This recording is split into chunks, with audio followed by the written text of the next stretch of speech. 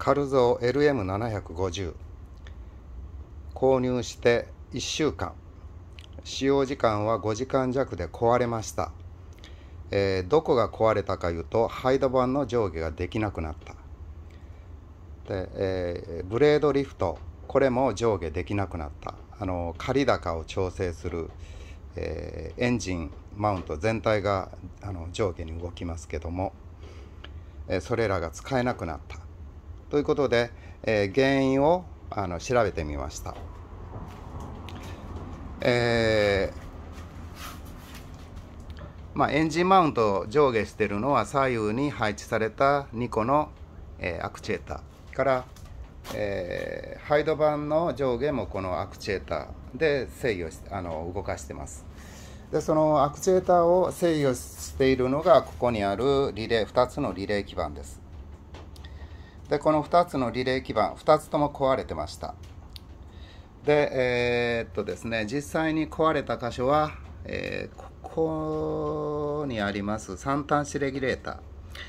これが焼けて穴が開いてました。まあ、そういうことで、えー、この部品を手配したくて、えー、サンガのサポートに連絡を取ったところ、まあ、3週間ぐらいお時間をくださいと手配しますということでしたので、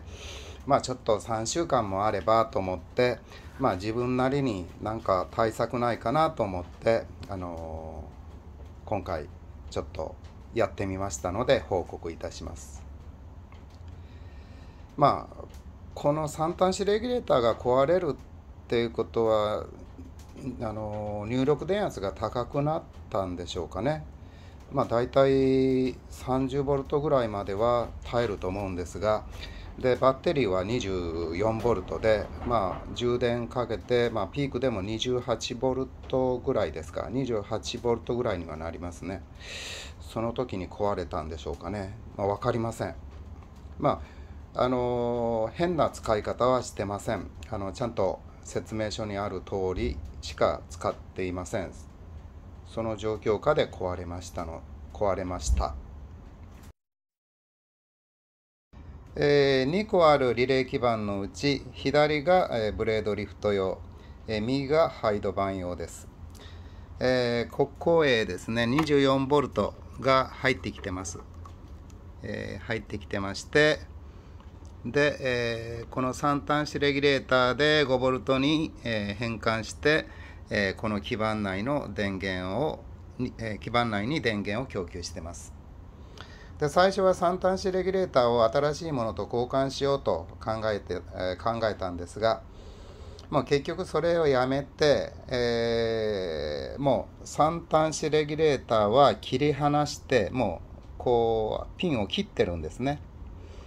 で、えー、その代わり受信機の方から 5V を供給してやろうというふうに考えました。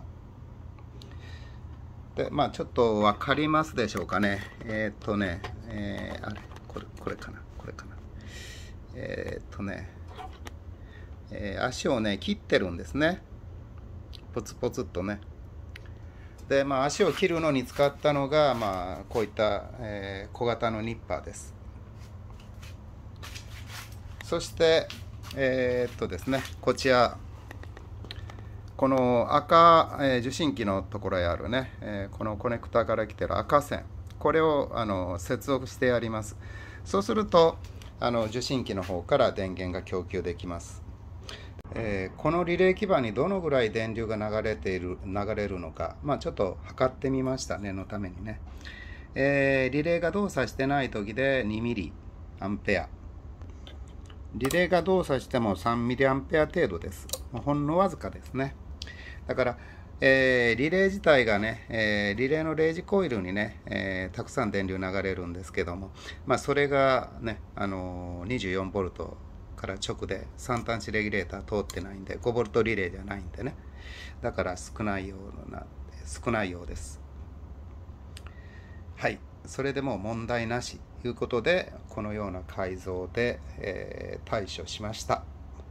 はい。えー、テストでハイド板を動かしてみます。ちゃんとリレーがね、えー、ここの LED がついてます。今度は、え逆にするとこちらの LED がね左の LED がつきます。ハイドバーもちゃんと動いてます。これかな。ちょっと分かりにくいかな。はい。そういうことで、えー、できました。一応、えー、治りました。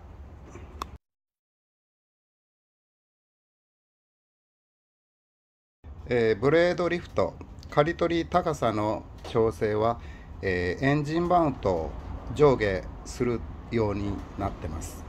でこのエンジンマウントの上下は、えー、左右に配置された2個のアクチュエーターで行ってます。この2個のアクチュエーターは電気的に、えー、並列接続になってます。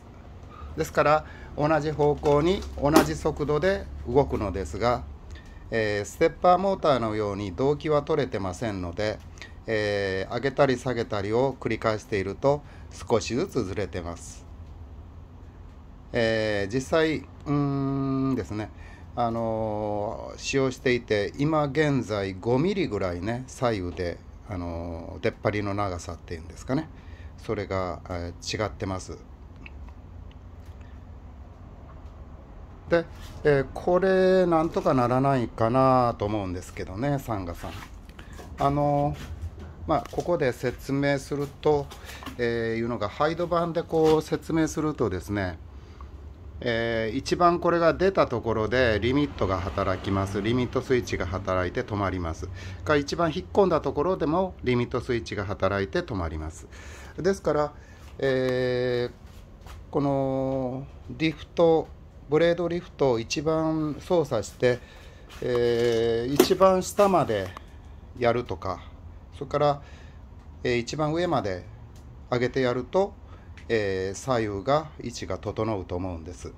ですからまあ何回かに一度あの一番上まで上げてやるとか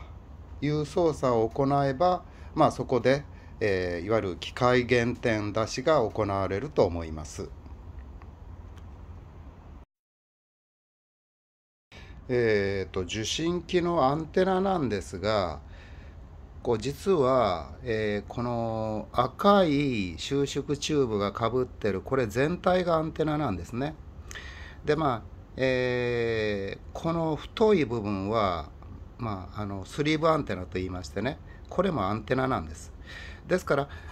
いいのを言えばいいことあの理想的にはですねここまで同軸ケーブルでここまで来てますけどこの赤い部分全体をこのシールドされたあの箱よりも外へ出すのが理想ですね。そしてまあアンテナが2本ついてるわけですがこれはあのダイバーシティアンテナの効果を狙ってるわけで、えー、同じところへあのこうどういったんですかねあの束ねて出してもあまり効果ないんでいいの言えばねあの直行させた配置にするのがまあいいです。まあ私あのラジコン飛行機もね日頃飛ばしてますのでまあその辺わかるんですが。まあ、あのこのね、えー、草刈り機の場合はねあのすぐ近くでおそらく操作するので、えー、特に問題ないと思いますが、まあ、ちょっと離れたところでね操作することになると、まあ、その辺りちょっと、えー、変更した方がいいと思います。充電ポートの形状なんですが形なんですがこれどこかで見たことあるなと思ったら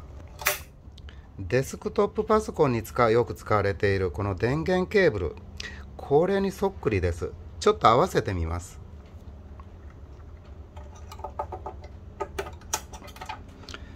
はいぴったり合いました。プラグの形状を比べてみます。えー、っと右がうん充電器の方なんですけど、えー、E の端子が T の字型、まあ、逆に向けば T の字型になります。で、えー、引っ掛けみたいなねくぼみがあります。まあこっちの方はついてませんね。でまあでもまあこう普通の AC 用の、ね、電源ケーブルが入るっていうこと自体が恐ろしいですよねこれがね。でまあ本当にこれをこの挿してで、えー、プラグをこうコンセントにぶっと挿すとどうなるんでしょうねまあ多分ブレーカーが落ちるだけで済むと思うんですけどね。あの配電盤にあるあ分電盤にあるねブレーカーが落ちるだけで済むとは思いますがまあ危ないことはやめましょうね。危ない実験はやめておきましょう。ということでくれぐれもお気をつけください。